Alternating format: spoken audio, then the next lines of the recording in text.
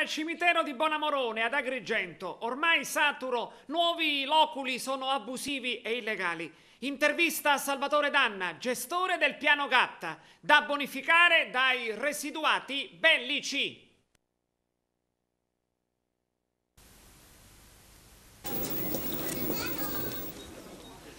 Ad Agrigento si riposa in pace o al cimitero Bonamorone, nell'omonima contrada Bonamorone, a valle delle costone della Rupe Atenea e con panoramica a sud della Valle dei Templi, o nel cimitero di Piano Gatta, in periferia ad ovest della città, tra tanto verde e fuori dal traffico.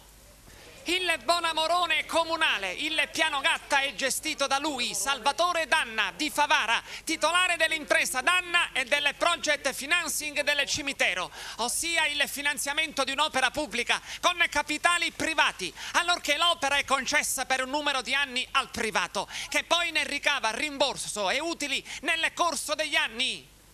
Il contratto tra Comune di Agrigento e Salvatore Danna impone adempimenti e oneri. Ad esempio, Toto Danna ormai da tempo rivendica dal Comune la bonifica del 50% della zona dai residuati bellici sotterrati e risalenti alla Seconda Guerra Mondiale e poi il pagamento di alcune cappelle utilizzate per la sepoltura dei morti a Lampedusa ad ottobre. Si tratta di cose semplicissime che il Comune potrebbe fare in maniera immediata. Ne abbiamo parlato ampiamente nell'ultima riunione di circa 15 giorni fa, ancora oggi non ho risposte. Il discorso diciamo, delle bombe della seconda guerra mondiale, metà area ancora diciamo, è in fase da queste bombe che bisogna necessariamente levare eh, chiaramente sminare eh, le, le, aree, le aree e infatti ci troviamo ancora oggi in consegna provvisoria dopo nove anni di eh, assegnazione della concessione 25ennale e poi il riconoscimento delle cinque cappelle che il sindaco ha voluto diciamo, per mettere le salme di quei poveri immigrati di quella triste vicenda diciamo, terribile che è successo di Lampedusa. Sì. E non solo, a Bonamorone non sono più concedibili altri loculi. Il cimitero storico è saturo. Ogni altra fossa è abusiva e illegale. Tuttavia, sottolinea Salvatore Danna, a Bonamorone si seppelliscono 540 morti all'anno e a Piano Gatta 110. Alcuni dei morti sepolti a Bonamorone riposano in tombe già costruite da anni, prima che il cimitero fosse dichiarato saturo e quindi sono legali. Tanti altri invece riposano in eterno in tombe appena costruite e che sono abusive. L'ho detto anch'io nello spot. Diciamo che se una famiglia agrigentina eh, desidera avere la concessione di una cappella e avere tutte le carte in regola e in piena legalità non può che venire a Piano Gatta che è l'unico cimitero d'Agrigento diciamo, dove c'è questa possibilità mentre a Bonamorone avvengono tutte le cose che veramente da un certo punto di vista mi stupiscono e nello stesso tempo mi inorridiscono perché? Perché il cimitero era già saturo 15 anni fa ad oggi ogni anno a Bonamorone vengono tumulate 540 salme. All'anno? All'anno, sì.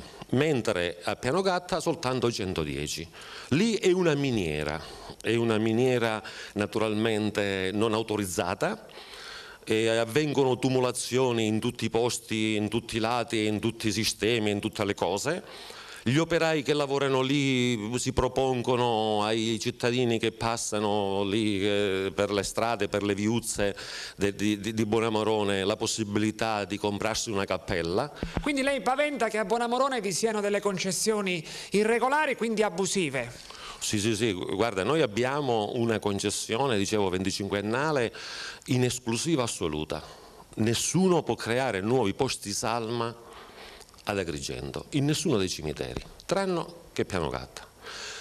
Poi c'è il discorso che c'è chi cerca per forza di cose una cappella a Bonamorone e gliela trovano. E abbiamo un elenco infinito di famiglie che purtroppo hanno fatto questa scelta sbagliata, insana, abusiva e verrà il giorno che chiederemo anche a queste famiglie conto e ragione, perché il discorso di Agrigento deve essere chiaro, il cimitero di Agrigento è il nuovo Camposanto di Pianogatta. Non ci sono alternative. Tutto ciò che avviene dall'altro lato, rispettando chi ha posti nelle cappelle regolari di famiglia, tutto il resto è abusivo. Per cui verrà un giorno che tutti verranno chiamati naturalmente a risponderne di quello che hanno fatto.